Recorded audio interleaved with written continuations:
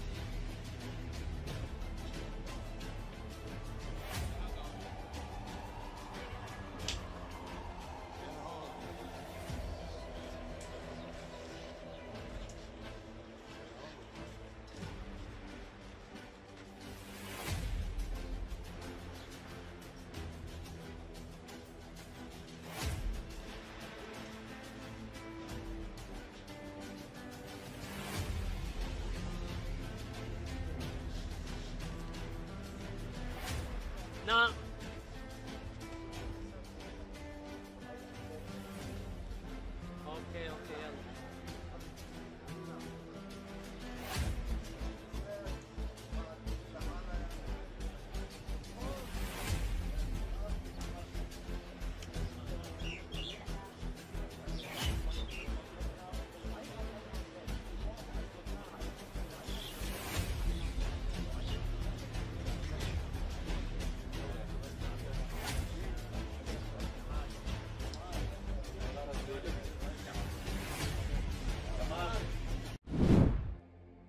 Huge plumes of smoke billowed over the sky of Tyre city after a series of Israeli airstrikes in southern Lebanon. Israel called on various neighborhoods in Tyre to evacuate as it will conduct airstrikes on suspected targets. The military said it aims to push Hezbollah out of southern Lebanon so that tens of thousands of Israelis can return to their homes after more than a year of cross-border rocket and drone attacks. Over a million fled their homes after Israeli airstrikes pounded large areas of Lebanon for weeks.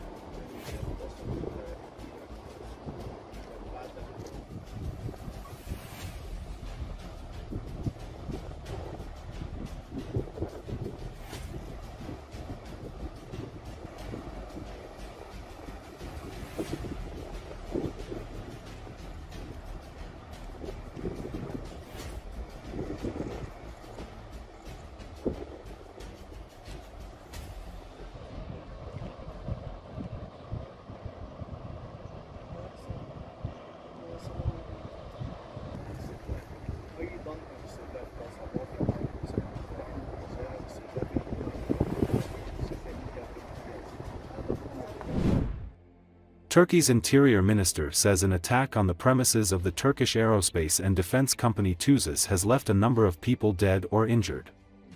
Ali Yerlikaya did not provide further details on the attack Wednesday on Turkish Aerospace Industries Inc.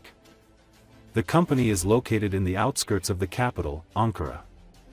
Earlier, media reports said an explosion followed by gunfire was heard at the complex. Haberturk television said the explosion may have been caused by a suicide bomber. Security forces, ambulances, and firefighters were dispatched to the site.